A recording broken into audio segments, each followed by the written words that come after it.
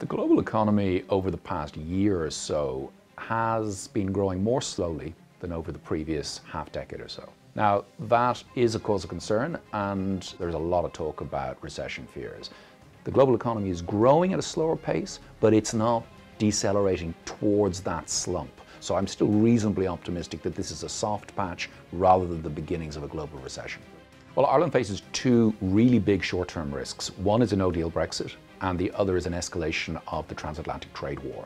We have a huge trading relationship with the United States. The US is our biggest single export market. If there is a transatlantic trade war of the kind that has broken out across the Pacific between the US and China, Ireland is in real trouble. The Irish government's policy responses to these shocks are actually very limited.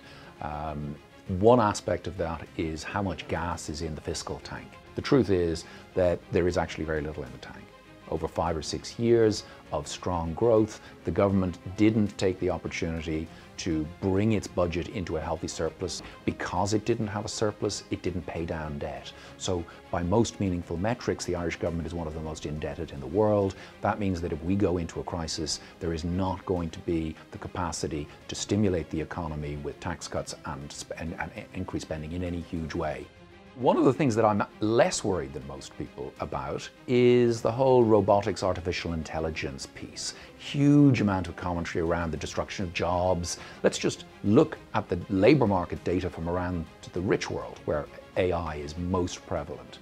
There are more people working in virtually every single high income industrialized developed economy for the, every industry that declines, you have other industries that are growing. We look across the tech sector. So what's the net effect? The net effect is that artificial intelligence, robotics, ultimately they create more wealth and opportunity than the negative impact. That shows up very strongly in the labour market data from across the entire rich world. There have never been more jobs out there.